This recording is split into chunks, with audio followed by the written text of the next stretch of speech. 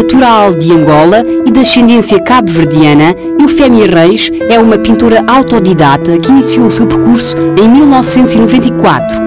Tendo vagueado por vários temas, atualmente, no apelo de sangue, regressou às suas origens, dedica-se à pintura de figuras africanas. Fui muito pouco de estudar. Os meus pais andavam sempre, tens que estudar, porque é o teu futuro. O meu pai dizia, eu quero-te dar o melhor, tens que estudar. Eu estudava, mas não era o suficiente, não é? Porquê? Porque muitas vezes estava na sala de aulas a, desenhar, a pintar. Hum, e, e claro, são daquelas coisas que pronto, nascem connosco, não é? E depois, pronto, porque eu também sou um bocado persistente, não é?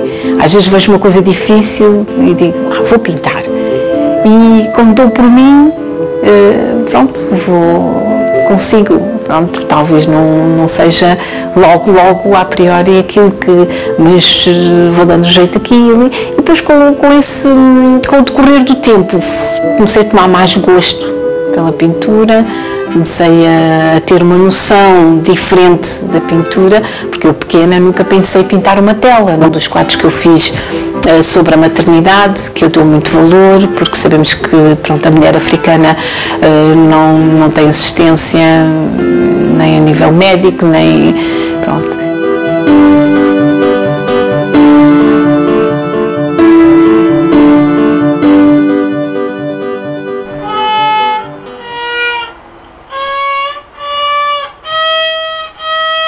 Tal como a mãe, também os filhos seguem as pegadas na área artística.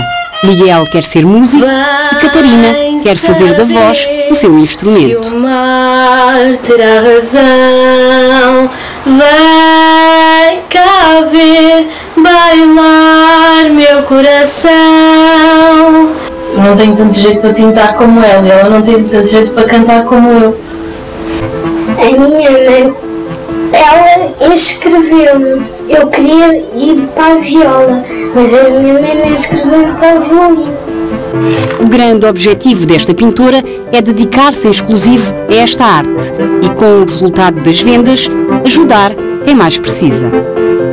Eu acho que se tivermos algo que uh, olhamos e, e possamos dizer através deste, deste trabalho, ajudei alguém ou este trabalho vai fazer com, com que as outras pessoas que vêm à minha casa uh, consigam ver o que se passa em África, um alerta, por exemplo, não é? E acho que era uma boa forma realmente de divulgarmos esse, através da pintura, esse sofrimento.